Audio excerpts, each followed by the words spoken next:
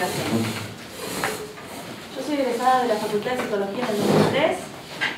Eh, ya en la última etapa de la carrera eh, me orienté a lo que es psicología laboral. Me gustó mucho siempre, antes incluso de, de cursar psicología laboral, estaba interesada por todo lo que es el área de recursos humanos. Em, cuando termino la carrera, comienzo una especialización en psicología y psicoanálisis de los vínculos, que no sé si han oído hablar, pero fue abierto unos, unos años, ahora se llamó. Entonces, en esa carrera lo que hago es un poquito profundizar en, lo que es la grupalidad, siempre orientada a lo que es la psicología laboral. ¿sí? Eh, entonces, cómo es la dinámica de grupos, cómo coordinar grupos, grupos de discusión, grupos de reflexión, grupos laborales sobre todo. Estoy terminando la carrera de especialización y me sale la posibilidad de ir a hacer un máster a la Universidad de Barcelona en Psicología de los Recursos Humanos, bien específico. Postulo la beca, me sale la posibilidad y me voy. Y desde el 2006 hasta el 2011, inicio del 2011 estoy afuera, finalizo el máster, termino el doctorado, también en la misma línea, doctorado en Psicología de los Recursos Humanos, y vuelvo. Y aquí estoy, un poco para transferir todo lo que aprendí, trabajando mucho en investigación, siempre estuve incluida en el grupo SOBIU, dice la, pantalla, Grupo Sociología, los Vínculos Institucionales, Universidad Comunidad, que dirige María Inés Pacenza. La conocen, ¿se acuerdan, no? De María Inés. Bien. Y desde este año estoy a cargo de lo que es la Escuela de Becarios. No sé si saben, pero la facultad tiene una escuela de becarios que básicamente nuclea a todos los estudiantes avanzados, graduados o que están estudiando carreras de posgrado que tienen algún tipo de beca de investigación. Y pueden ser becas de la universidad, becas del CIN, becas de CONICET, ¿sí? hay distintas, distintos organismos que financian. Y un poco es asesorarlos, potenciarlos, presentarles eh, alternativas para que puedan seguir desarrollando eh, planes de estudio, planes de carrera de investigación, eh, cursos de posgrado, bueno, cada, cada becario también va haciendo su, su trayectoria ahí. He tenido la oportunidad de pasar por la mayoría de las becas de la universidad, empecé con estudiante avanzado, seguí con iniciación, perfeccionamiento la tuve que cortar porque me fui a España, y cuando volví retomé como una beca de postdoctoral de CONICET. Y así que si les interesa el tema de la carrera de becarios también eh, podríamos pensar en, hacer un encuentro, organizar un encuentro para que vayan pensando en qué estrategias tienen que ir decidiendo y, e implementando para, entrar en lo que es el perfil de un becario. ¿sí? Si mal no recuerdo, no sé si ustedes recibieron charlas en el marco de la cátedra de estrategias. ¿Sí? ¿Se acuerdan de esas charlas? ¿O quedaron muy lejos? Cuarto, quinto año tenemos acá más o menos. ¿Sí? Bien. Bueno, una tesis. ¿Quién sabe lo que es una tesis? Aparte de lo que dice ahí. ¿Qué es una tesis? Pueden decir lo que quieran en este punto.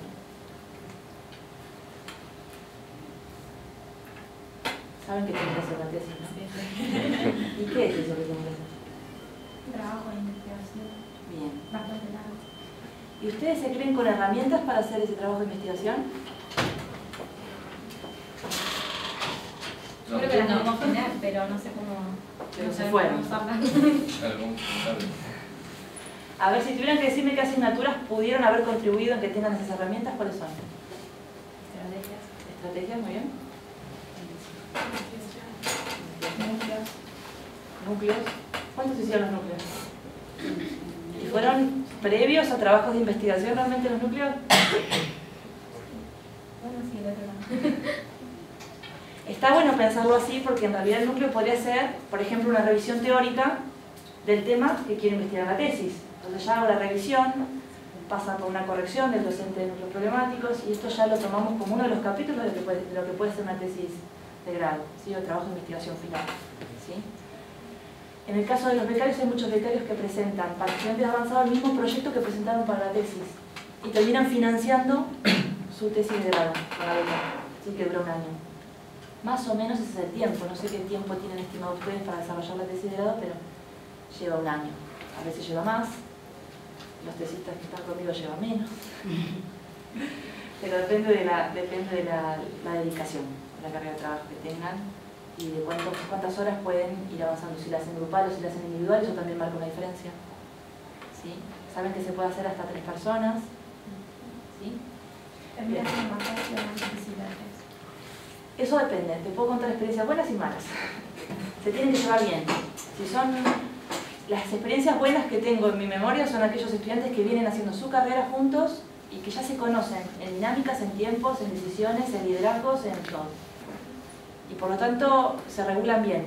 Ahora, si son tres personas nuevas que se ponen a trabajar, a veces hay roces o alguien trabaja más y después se echa en cara que trabaja más, después en la defensa oral, que es otra de las instancias, o hay que hacer un trabajo escrito, pero luego hay que defenderlo. Se nota esa diferencia de carga de trabajo y quién asume más responsabilidad o menos. Yo como evaluadora me doy cuenta y entiendo que otros evaluadores también. Sí, hay que tratar de que sea más horizontal y más equitativa la distribución de trabajo. Es difícil, no digo que no, que siempre tienen que ser conocidos los que hagan el equipo de trabajo, pero hay que hablar mucho más, hay que dialogar, hay que hacer acuerdos y, bueno, tratar de nivelar el trabajo. Para que al momento que ustedes comenten la tesis, la defiendan frente al evaluador o evaluadora, se vea que trabajaron en equipo. ¿Se acuerdan de laboral? Queda trabajar en equipo. bueno, la tesis es un trabajo de investigación, muy bien. También una tesis es un postulado. En algunas disciplinas, como en las ciencias exactas, hablar de tesis es haber postulado alguna hipótesis que se quiere probar y que puede tener más o menos evidencia empírica, pero eso es una tesis también. Pero como lo vamos a ver nosotros, es un trabajo de investigación, ¿sí? Entonces, como trabajo de investigación tenemos que saber qué es lo que se escribió, qué es lo que se investigó sobre ese tema con anterioridad. ¿sí? Para ver en qué lugar nos ubicamos nosotros, si vamos a hacer un aporte, si continuamos estudios de otros investigadores, si vamos a duplicar una investigación que se hizo en otro lugar o en otra institución o en otro grupo o con otro género y nosotros queremos duplicarla y ver cómo nos dan los resultados para contrastar. Tenemos que entender que los resultados van a ser significativos en algún punto. ¿sí? Si estamos hablando de una tesis doctoral, lo que se busca es que sea innovadora. O sea, que sea una investigación en la cual no vamos a descubrir la pólvora, eso está claro, pero que podamos eh, vincular variables que por ahí no fueron investigadas o aplicar una metodología que no se utilizó con esa población y con esa problemática o, triangular, combinar metodologías, participantes, lecturas, marcos teóricos. Bueno, la idea es que haya un avance, aunque sea chiquito, en los resultados que nosotros a aportar con esa investigación representen algo que otro grupo de tesistas u otros investigadores puedan retomar. ¿sí? Por ejemplo, les cuento, a ver, nosotros tenemos un grupo de tesistas, por ahí los conocen, Marianela Yanel y Mario Canuto fueron tesistas que ya defendieron su, tesis el año pasado, investigaron sobre el liderazgo de voluntarios universitarios, o sea, estudiantes que trabajan en proyectos de voluntariado de extensión dentro del marco de la universidad. Y bueno, ellos descubrieron que hay un estilo de liderazgo que es óptimo en este tipo de trabajo, que permite que se desarrollen los estudiantes y los proyectos y que se obtengan resultados eh, interesantes, vamos a ponerle ese objetivo por el momento, y dejar como una puerta abierta para continuar. Otro grupo de tesistas que tomó eso y contrasta, están desarrollando una investigación contrastando estilo de liderazgo con lo que puede ser el engagement o compromiso de los voluntarios. Y también van a dejar una puerta abierta para que otros estudiantes, si quieren, continúen complejizando la pregunta de investigación. ¿sí? En este caso, porque son tesistas míos y trato de acompañarlos en, un, en una línea que trabajo, que me siento comprometida y que sé que los puedo supervisar con una dedicación interesante. ¿sí? También podría venir alguien que ha venido, estudiantes, a decirme, bueno, yo quiero investigar tal tema y yo no este, especialista en ese tema, no manejar ni el marco teórico ni la metodología. Lo que yo suelo hacer es decir que no, porque es una cuestión de dedicación y aparte porque tengo como un límite, ¿no? Una tesis para mí hay que sacarla antes de un año. Si hay que comprometerse a sacarla antes de un año. Puede haber dificultades, puede haber obstáculos, pero la idea es que no sea algo que ustedes después tengan que cargar. ¿sí? La motivación se mantiene, al menos eso es lo que me está pasando con los tesistas, se mantiene alta durante, bueno, nueve meses, un embarazo. bueno, las fases de la investigación las vieron en la introducción de investigación, vamos a recordarlas. Hay muchos modelos, pero básicamente tenemos una fase preparatoria de diseño, que es en la que ustedes por ahí están incursionando con, con, la participación en este taller. Una fase de trabajo de campo, ¿sí? que en algunas investigaciones se puede llamar recolección de datos. ¿sí? Y una fase analítica, en la cual esos datos que han sido recogidos se analizan. ¿Sí? En España no puede decir ese verbo. Eh, usan otro. recolección, eh, captura de datos. Bueno, tienen, de acuerdo al modelo que estén utilizando, si es latinoamericano, si es europeo, si es norteamericano, van a tener distintas formas de nombrarlo. Eh, ¿Saben leer inglés? ¿Se manejan bien más o menos con inglés? Porque ese es otro tema también. Depende de lo que investiguen, hay mucha literatura científica en inglés. Eso requiere que al menos el abstract lo puedan leer en inglés. ¿sí? O por eso también los equipos a veces se complementan en ese punto. Uno sabe leer ¿no? y se encarga de, de la literatura internacional, por de alguna forma. Y la fase informativa, que es donde tenemos que hacer el informe y la defensa. ¿sí? Bueno, en el anteproyecto de investigación tenemos entonces la reflexión y el diseño. A ver, ¿ustedes qué piensan que es un anteproyecto de investigación? Deben haber visto algunos, por ahí leyeron el material que en el centro de estudiantes tienen respecto a cómo formular el plan de trabajo o anteproyecto de investigación. ¿Qué es un anteproyecto?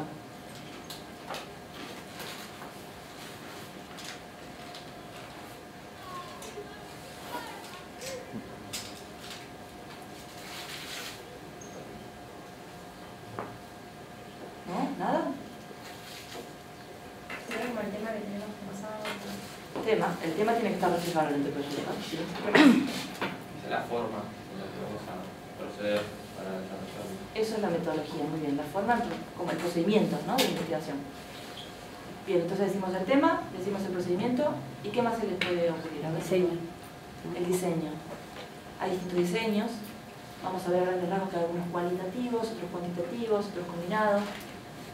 El marco teórico. Marco teórico. Ese es un punto crítico bastante, o por lo menos a mí me ha pasado de encontrar que hay una confusión entre lo que puede ser revisión teórica o estado del arte también llamado, no sé si lo han escuchado, o estado de la cuestión, ¿sí? con marco teórico. El marco teórico es el modelo o los modelos, dos, tres, ¿no? con los cuales vamos a analizar los resultados. Por ejemplo, si estamos analizando el liderazgo, como les comentaba yo, el liderazgo del modelo transformacional, ¿sí? de Aborio Vaz, de la universidad tal, desde ese lugar me voy a posicionar. Hay muchos modelos de liderazgo, pero yo me posiciono desde ese lugar. ¿sí? Pero en la revisión de la literatura científica o en el estado del arte, tengo que dar cuenta de otros modelos que pueden ser similares, parecidos, contradictorios al que voy a tomar. ¿sí? Investigaciones que hayan trabajado con población similar a la que yo estoy tomando o con la misma, ¿sí? pero yo tengo que dar cuenta en el estado del arte o en la cuestión o en la revisión teórica que investigué las o sea, líneas o trabajos de investigadores previos que se ajusten o se parezcan a lo que estoy haciendo. ¿sí? ¿Para qué eso? Para mostrar que esto no se investigó. Este pedacito no se investigó y esto es lo que voy a hacer. ¿sí? O se investigó muy poco. O encuentro que hay resultados contradictorios. Entonces voy a ver qué me pasa con la población en la cual voy a trabajar. ¿sí? Eso sería la justificación, que también forma parte del anteproyecto. Justificar por qué quiero investigar esto, para quién es importante. ¿Sí? ¿Vamos? Batería.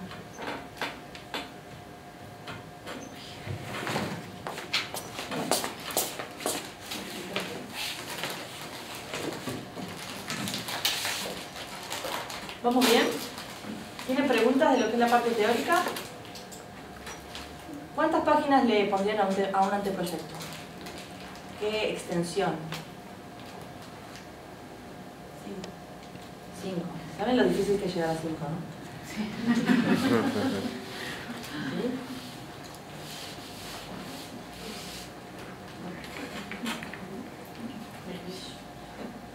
¿Y qué hacemos si no llegamos a cinco? Nos pasamos. Porque solo la revisión teórica lleva muchísimo, muchísimas páginas. ¿Han visto algún anteproyecto ya? Es algo así como ir nombrando investigaciones, colecciones de investigaciones por párrafos agrupadas, donde uno dice, bueno, se ha investigado. Les cuento un ejemplo, en el caso de la investigación que, eh, trabajo con los tesistas. Em, se investigó el liderazgo transformacional en instituciones educativas, todos los autores, en instituciones de salud, con cargos o mandos intermedios, con operarios. Eh, entonces uno va poniendo entre paréntesis colecciones de autores con los años de publicación, pero no puede decir mucho más que ese detalle con el cual encaró el párrafo. ¿sí? Y así son unos 4 o 5 párrafos, 6, 7 párrafos y se terminó. La revisión teórica para el anteproyecto. ¿sí? Aparte, dentro de esa revisión hay que dar cuenta en algún párrafo de cuál es el marco teórico desde el que nos posicionamos. Si bien hay todo esto investigado, nosotros nos ubicamos en este marco teórico y desde este marco teórico queremos analizar los resultados de la investigación. ¿Sí? Aparte de revisión teórica, la metodología es un punto muy importante porque habría que definir, se me está actualizando algo, entonces no puedo, no puedo mostrarles ahora. Bueno, el marco teórico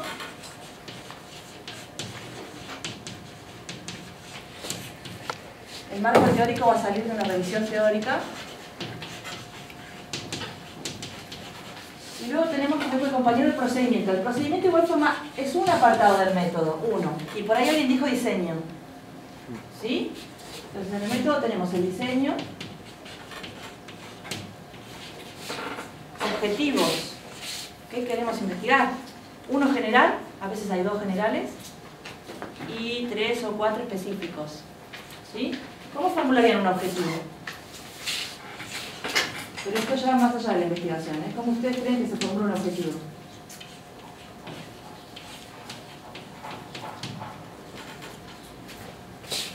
Tampoco eso. Vamos a necesitar otro taller.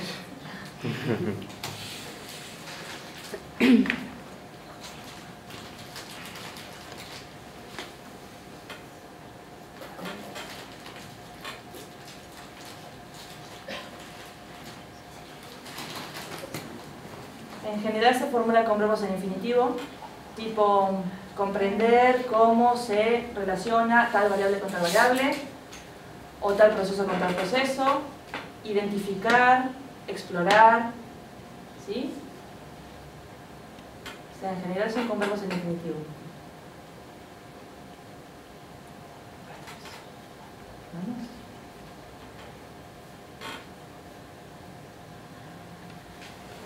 El diseño entonces dijimos puede ser cuali o cuantitativo. Tenemos los objetivos. Si es cualitativo, no vamos a tener un objetivo tipo analizar. Eh, ver cómo tal o identificar correlaciones de tal y tal. ¿sí? Eso lo tiene que tener más o menos claro por estrategias. ¿sí? Hay investigaciones que son más cuantificadas y otras más cualificadas. Si vamos a estudiar procesos abiertos, ¿sí?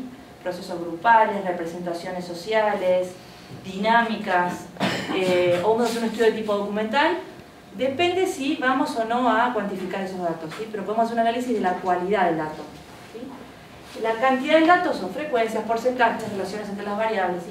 No voy a detallar mucho esto ahora porque la idea es que ustedes tengan un, un panorama de qué orientación le pueden dar. El trabajo de campo es el dato concreto. ¿Dónde van a ir a buscar el dato?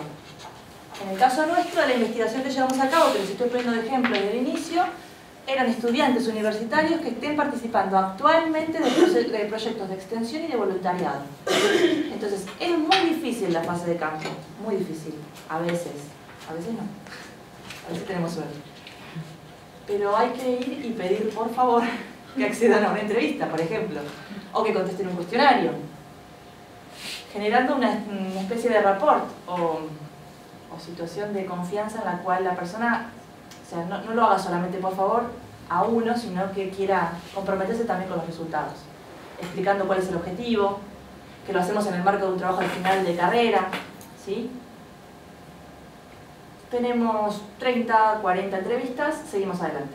¿sí? En el caso de cualitativa podemos pensar en ese número, en el caso de cuantitativa y cerca de 100, 80, 100, depende, son protocolos muy estructurados y necesitamos un cambio. Igual eso va a depender del director o codirector de la investigación.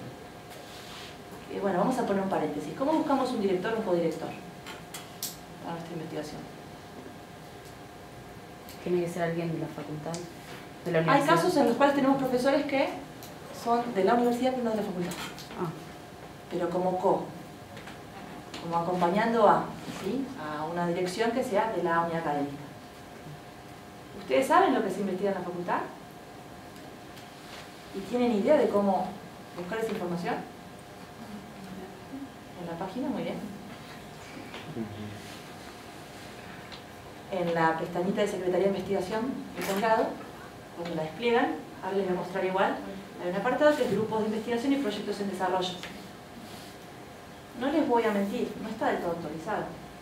Pero no es que uno salta de un tema a otro, totalmente diferente. Si uno en el proyecto del año pasado, o que cerró el año pasado, estaba investigando, no sé, inteligencia emocional en estudiantes, este año no me voy a estudiar una cosa totalmente diferente. Generalmente uno acompaña los resultados de una y los complejiza o incluye otras variables, ¿sí? O sea que uno puede tener una idea de lo que se está investigando igual, ¿sí? Por temática.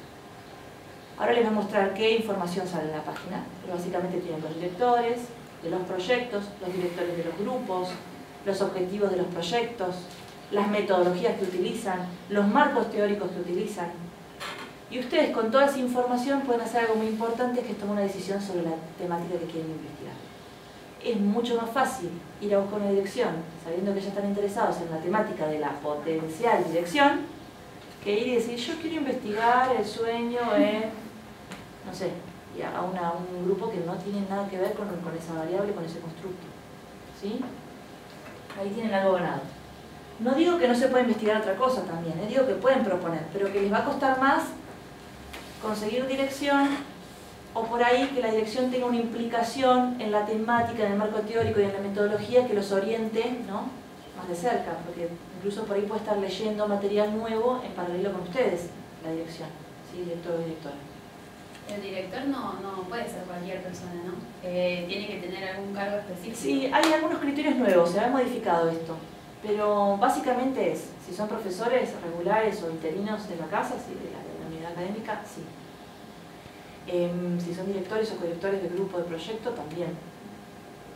En el caso de que sean ayudantes de trabajos prácticos, pero que tengan eh, algún posgrado hecho, tipo carrera de especialización, maestría, doctorado, también porque tienen experiencia en investigación. También ayudantes de trabajos prácticos que tengan antecedentes en investigación por varios años de, participar de un grupo. Eh, y en algunos casos también se piden excepciones, porque una temática súper específica, este ayudante de trabajos prácticos lo hizo en su tesis y por ahí no tiene las condiciones o los antecedentes de investigación en la unidad académica, pero pues se puede pedir una excepción con una dirección o una codirección que acompañe. ¿sí? A veces hay direcciones o codirecciones más de tipo metodológicas y direcciones y codirecciones más de tipo temáticas. Por ejemplo, en el caso de mi tesis, elegí un especialista en liderazgo, la tesis doctoral que hice en Barcelona, un especialista en liderazgo y un especialista metodológico, para la parte cualitativa y la parte bibliométrica, que bueno, es otro, otro tipo de metodología que después les podría comentar. Eh, pero bueno, la idea era triangular, o sea, que me aporta la parte metodológica uno y que me aporta la parte o experticia temática otro. ¿sí? Se puede pensar así. Está bastante difícil, ¿eh? por lo que me cuentan los chicos en los pasillos y también los que son directores actualmente que tienen muchas tesis a cargo y que los chicos están tratando de, encontrar ya cualquier tema les viene bien. Tampoco es bueno llegar a ese extremo. Ya ustedes tienen que tener una motivación con la temática que van a investigar. De hecho hay un apartado del anteproyecto que se llama motivos, no recuerdo si motivos, eh, donde ustedes tienen que poner por qué están investigando eso. ¿Sí? ¿Por qué desde la psicología pueden hacer un aporte a eso? ¿Sí? En la fase analítica, bueno, ya tomamos todas las entrevistas, tenemos que analizarlas, las tenemos que sistematizar. Primero las tendríamos que cargar en alguna especie de base. Van a tener que familiarizarse con el Excel si no están familiarizados, porque mínimamente un Excel, donde uno pueda poner una primera columna, tenemos una simulación. Esto lleva tiempo, mucho tiempo de silla, ¿eh? Mucho. Pero bueno, una vez que tienen la base limpia y si trabajan en equipo es más rápido. Ustedes abren un Excel, tendrían que poder tener, en una primera columna, unidad de análisis o casos, ¿sí? Y acá tendrán, si eran 30, 1, 2, 3, 4, 5, 6, hasta llegar a 30. ¿Sí? Y acá tendrán las variables que han medido, ¿sí? Por ejemplo, género. Si me dieron variables sociodemográficas, que esto se suele hacer en casi todas las investigaciones, género, edad, nivel de educación, ¿sí? trabajan o trabaja, antigüedad en trabajo. Por lo menos en las investigaciones laborales, este, estos datos sociodemográficos siempre están. Género, edad, estudios, y después vendrían todas las otras variables, por ejemplo, en el caso de la tesis que pongo de ejemplo, liderazgo. ¿Cómo fue dando la escala de liderazgo transformacional, en la escala de liderazgo transaccional y en otras escalas, ¿sí? De resultados. Y van a tener números. Esto lo podemos convertir todo en números. ¿Ustedes quisieran género? Bueno, uno femenino, dos masculino. 1, 1, 1, 2, 1, 1, 2, ¿sí? Lo pueden convertir a un sistema de codificación interno. O pueden poner femenino, masculino, femenino. Depende después qué tratamiento le vayan a dar los datos. ¿sí? Edad lo mismo, pueden establecer categorías o rangos de edad.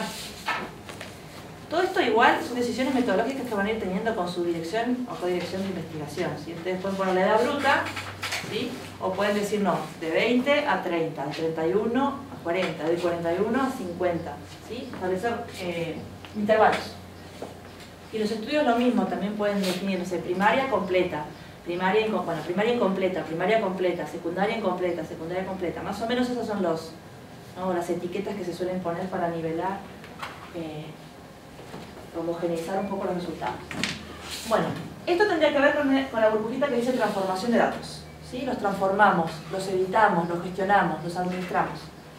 Y luego tenemos que establecer gráficos de esto, ¿no? Habitualmente llevamos estos datos a un gráfico. Podemos hacer, por ejemplo, un gráfico por género. ¿Qué porcentaje de mi muestra es masculina que femenina? ¿Sí? ¿Qué 60-40? Son gráficos descriptivos estos. También hay gráficos de barra. Ustedes pueden, depende de qué es lo que quieran, pueden graficar. Esto podría ser los intervalos de edad. De 30 a 31, no, de 30 a 40, de 41 a 50, acá sería de 31. Tienen que ser similares los intervalos. O sea que la misma cantidad de opciones y de respuestas posibles tendría que poder estar incluidas. Muy burdamente esto sería lo que es el análisis de datos a nivel descriptivo. Si es un estudio tipo cuantitativo va a haber otro vuelo en el análisis de datos. Se van a evaluar correlaciones, por ejemplo, o este, discriminar cómo se distribuyen los grupos de acuerdo al cruce de variables. Ahora vamos a ver en una tabla algunos de los análisis posibles, los vamos a nombrar, simplemente para no complicarlos en este punto. Cuando tenemos todo esto podemos elaborar el informe. ¿sí? Eh, yo intento que los tesistas empiecen a elaborar el informe mucho antes de tener todo esto. Porque como es un proceso, y la tesis está conformada por capítulos o apartados, el capítulo de, revisión teórica ya lo pueden ir haciendo. Mientras que si es un grupo, mientras que otros van tomando datos. ¿sí? Mientras que van haciendo los resultados ya pueden ir pensando en cuestiones a discutir. ¿sí? Les voy a mostrar luego una pantalla donde, donde puedo reflejar lo que es la estructura de una tesis final. ¿no? Bueno, el tema de la tesis, ¿cómo le dijo? Se me ocurrieron algunas respuestas posibles que me podían dar ustedes, pensando que por ahí no eran muy dialogantes, pero me equivoco. Propia iniciativa, propia motivación, propio interés, lo que ustedes quieran investigar. Ya les dije, ahí, bueno, van a tener que tener paciencia porque por ahí no consiguen una dirección fácil. Eh, experiencias concretas que resulten significativas. Tomar algo que ya se esté haciendo y decir, bueno, lo voy a sistematizar y voy a ver desde la investigación que puedo. ¿sí? Eh, se puede sistematizar experiencias de extensión, se pueden sistematizar experiencias de docencia, y decir, bueno, a ver cómo les fue a los estudiantes en este examen que fue una modalidad, una metodología creativa. No están acostumbrados a ser evaluados de esta forma. Bueno, vamos a, investigar qué pasó, cómo se sintieron, cómo fueron los resultados. Y por ahí de ahí se puede sacar una investigación también. Eh, contraste con otros especialistas, bueno, si tienen la oportunidad de dialogar, si forman parte de un grupo de investigación van a poder dialogar de cómo va avanzando la tesis, ¿sí? contrastar, acordar o no con la dirección, con otros miembros del equipo de trabajo. Eh, la lectura del trabajo de otros investigadores, esta es la principal fuente desde mi punto de vista. Cuando uno lee mucho sobre el tema que le interesa, va viendo cuáles son las conclusiones que ya están súper confirmadas por distintas investigaciones y cuáles son aquellas que son contradictorias y que por ahí estaría bueno explorar un poquito más o cuáles son las preguntas que no se hizo nadie todavía ¿sí? ahí vamos a poner un paréntesis o unas comillas bien grandes porque uno dice, uy, no encontré nada, pero eso no quiere decir que no exista ¿sí? No se encontró en la búsqueda que se hizo, pero no quiere decir que no exista ¿sí? y tomando contacto con temáticas de los proyectos existentes esta es la página de la FACU como les dije en la pestañita, Secretaría de Investigación y Posgrado, entran en grupos de investigación y proyectos en desarrollo, y si entran ahí y abren cualquiera de las opciones, tienen este tipo de ficha. Fíjense, el título, bueno, primero hay una información como más de, siglas, ¿sí? que puede ser la sigla del grupo, código, código de subsidio, o sea, el subsidio del cual reciben financiamiento en ese proyecto. El grupo al que pertenece ese proyecto, hay varios grupos, pero también hay más proyectos que grupos. O un mismo grupo puede estar desarrollando dos y tres proyectos de investigación en paralelo. ¿Sí? Más o menos para que tengan la estructura. Hay un resumen que es muy claro para que ustedes vean qué es lo que se está investigando, con qué metodología y si ya tienen resultados previos. ¿Sí? Las palabras claves generalmente están reflejadas en el título, pero no siempre. Y luego hay toda una lista de lo que es el recurso humano de ese proyecto, de ese grupo. Todos los integrantes con los medios de contacto y la función, si son becarios, si no, si son directores, codirectores, si son ascriptos.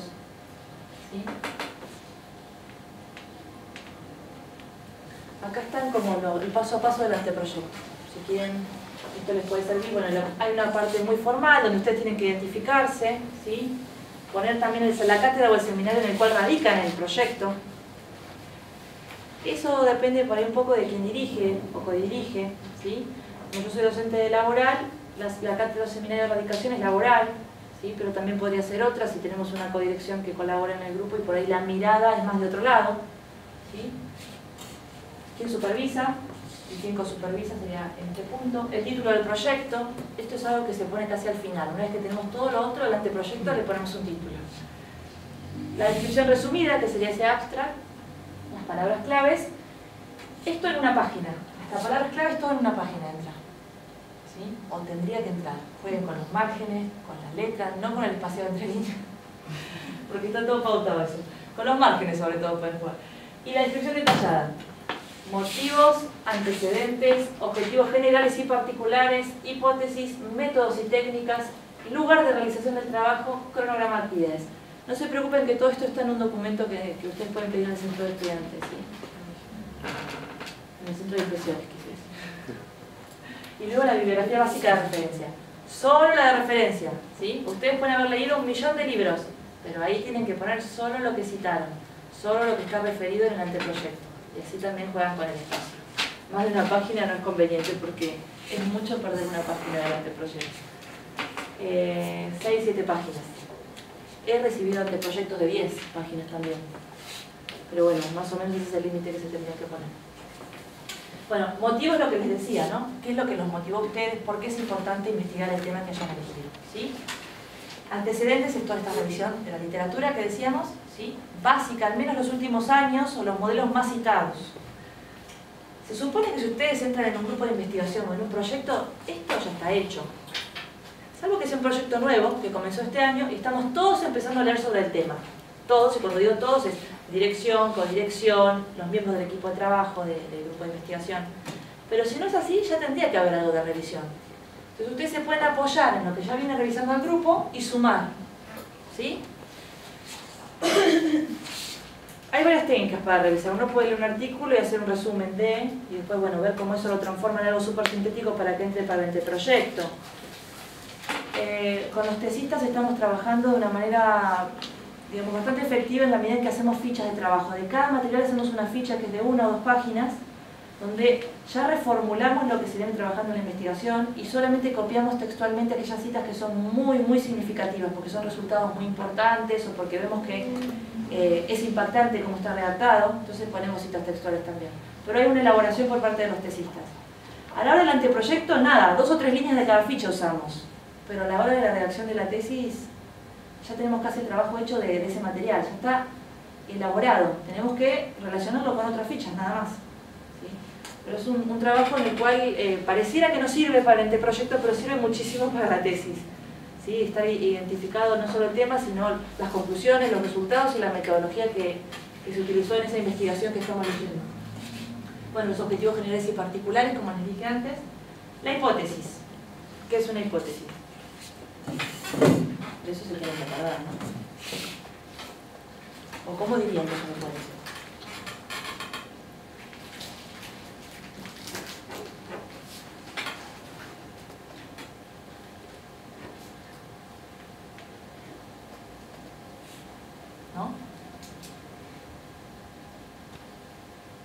están?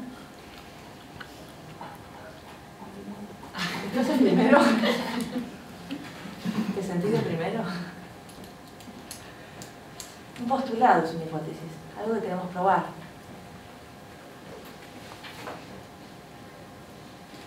A veces decimos, bueno, pero ¿para qué esto? Bueno, si revisamos bien la literatura científica, nos vamos a dar cuenta que es algo que podemos probar con nuestra tesis de pregrado. Sí, a veces hay hipótesis que son muy ambiciosas y no vamos a llegar con una investigación de, de grado a, a, cumplirla, a contrastarla siquiera. ¿sí? Si la investigación es muy exploratoria, o sea, si vemos que no hay mucho investigado sobre el tema, sería conveniente no forzarse a escribir una hipótesis. De hecho, no es obligatorio poner una hipótesis en ese tipo de investigaciones. Ahora, si vamos a estudiar algo que está muy investigado y nosotros queremos ver cómo particularmente una variable incide en la otra y ahí sí tendríamos que arriesgarnos al menos a postular algo que queremos probar durante la investigación. ¿Sí? A influye en B, A estaría relacionado con B, A, B y C eh, tendrían un impacto en D, ¿sí? Todo potencial. En general se formulan en potencial, en condicional. Bueno, los métodos y las técnicas que, bueno, el procedimiento que decías. ¿Cómo lo vamos a hacer? ¿Cómo vamos a poner a prueba esa hipótesis? Con una aproximación cual y con una aproximación quanti. Vamos a utilizar un cuestionario que ya está creado para esa finalidad. No nos gusta el cuestionario, vamos a ir con una entrevista. Vamos a usar entrevista y cuestionario. Vamos a hablar con las personas individualmente, vamos a armar grupos y vamos a ver cómo intercambian entre ellos. Vamos a hacer un estudio documental y no vamos a tener contacto con personas solamente con documentos. Bueno, esas son preguntas a resolver en la parte metodológica. ¿sí? Una vez que tengamos los datos, ¿qué vamos a hacer con esos datos? Vamos a calcular descriptivos básicos, que sería esto que, les puse como ejemplo, porcentajes, frecuencias, o no. Vamos a hacer un estudio un poco más ambicioso a nivel de análisis. Tenemos las respuestas a muchísimas preguntas de las entrevistas. Bueno, vamos a hacer un análisis de contenido, de cuáles son las temáticas que aparecen con frecuencia en las respuestas de las personas que entrevistamos, y eso sería más de tipo cualitativo. Si me preguntan a mí, yo soy más cualitativa que cuantitativa, pero entiendo que es importante la triangulación, o sea, combinar, tener ambas miradas.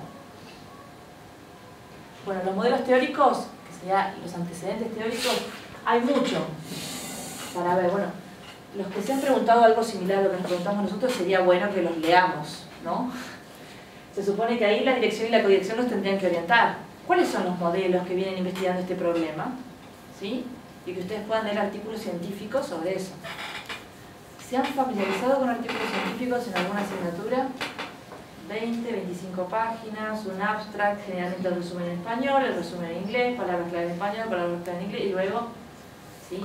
Toda la investigación una introducción, un apartado de método, un apartado de resultados, un apartado de discusión, conclusiones y referencias.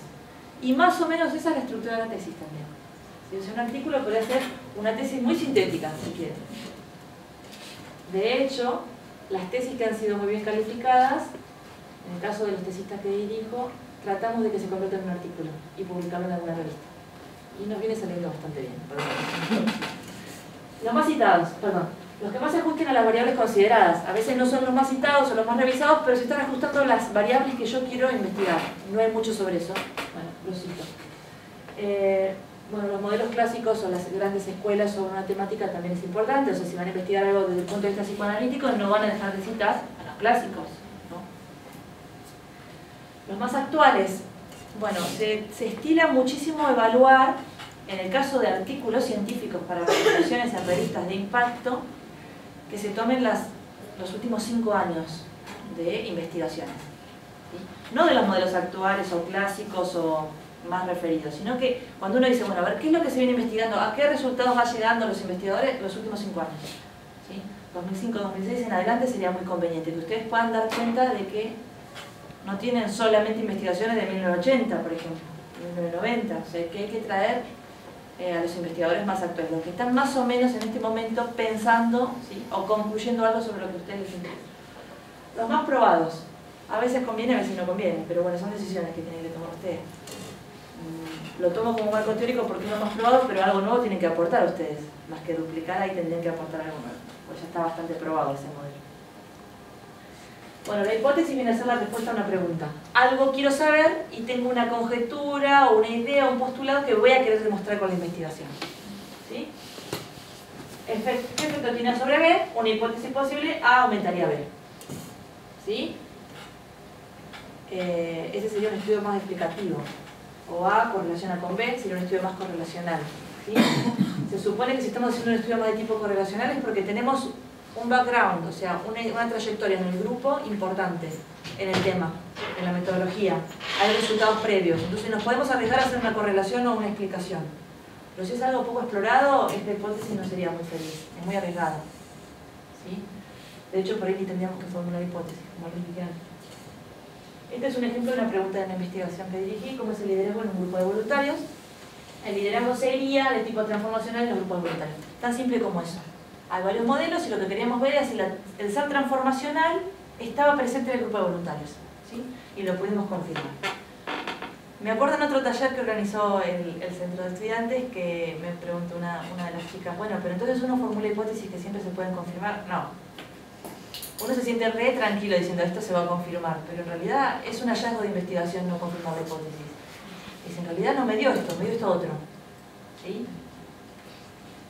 Es cierto que hay narcisismos que no lo soportan, pero eh, estoy en los congresos, eh, se ve muchísimo, no se nos confirmó la hipótesis, encontramos esto, formulamos un nuevo proyecto de investigación y surgió una nueva investigación, justamente por no haber confirmado la hipótesis.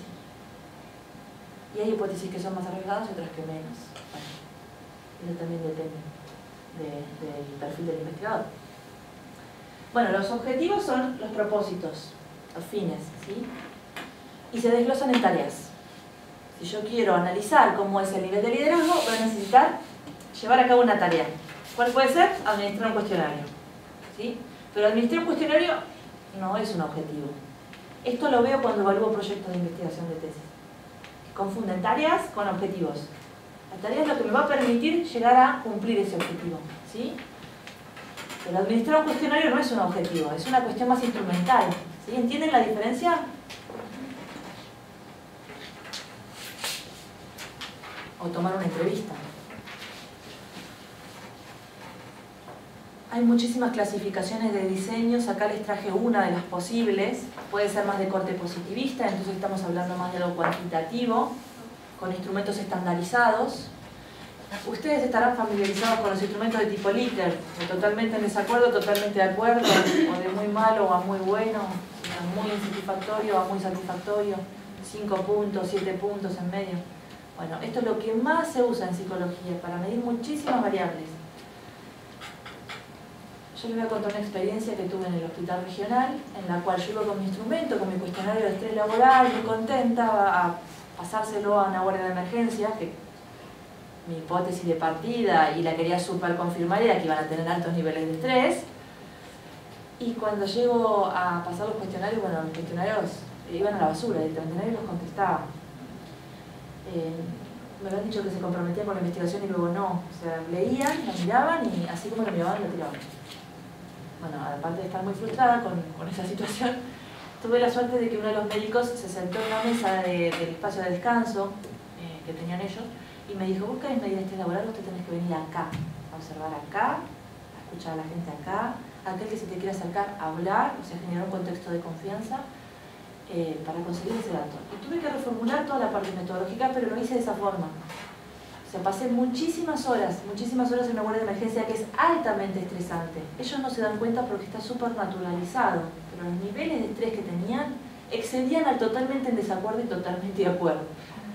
Con ese cuestionario no iba a poder medir nada, en realidad, de lo que yo quería medir. Yo necesitaba verlos interactuar, eh, ver qué situaciones los, realmente los desequilibraban y aquellas situaciones que estaban naturalizadas, aquellas situaciones que a mí me impactaban por ser un observador externo, ajeno, ¿sí? aquellas cosas que ellos comentaban, ¿ves? Esto tenés que poner en tu investigación. ¿Ves cómo tenemos la sala de descanso? ¿Ves que está sucio, que la comida ni la podemos apoyar en la mesa, que tenemos todas las sillas rotas, en realidad algunos comemos en el suelo? Ese tipo de cosas pasaban, que hacían que las condiciones de trabajo impactaran en la salud de los trabajadores y me permitían formularme nuevas preguntas de investigación. O sea, no vean la investigación como algo rígido. Si ustedes justifican el obstáculo y dan vuelta a un plan de trabajo por la razón que sea, lo tienen que poder justificar y lo pueden hacer. ¿sí? Y tienen que tratar de convencer al evaluador de que eso fue muy pertinente, fue una buena decisión. ¿sí? Para llegar al objetivo que uno se planteó. Bueno, luego hay modelos más cualitativos como los interpretativos o constructivistas o como los sociocríticos, donde ya tenemos Instrumentos como una entrevista profunda, historias de vida, observación participante, grupos de discusión. En el ejemplo que les puse recién, eran entrevistas, pero sobre todo observación. ¿sí? Yo iba con mi cuadernito observaba, observaba, observaba. Y luego tuve que sistematizar todo eso que observé. ¿sí? Y también había todo un análisis documental de, porque estaban pasando por una situación crítica, de cambio de directivos y, y muchas eh, sí, huelgas hacían desde el gremio. Este, ellos estaban eh, siendo entrevistados también por periodistas y había muchas publicaciones en diarios locales que me servían también para analizar la situación laboral de esa gente. Pero bueno, son decisiones que tuve que tomar después. Esto no estaba planificado en el proyecto de investigación. Era el cuestionario Likert nada más que yo iba a pasar. Muestreo o participantes de la investigación. Muestreo es más en diseño tipo quanti y participantes de la investigación se utiliza más en diseños quanti. Uno puede tener una muestra probabilística, o sea, uno conoce la probabilidad de que cada persona pueda ser o no integrada, o sea, hay un sistema para definir, ¿sí? puede ser al azar, por sorteo, ¿sí? Y después están los diseños que son muy de corte no probabilístico, que se utilizan mucho en cualitativa, donde uno tiene que tener alguna intención. ¿A quiénes voy a tomar? A los que quieran contestar. Bueno, es una decisión.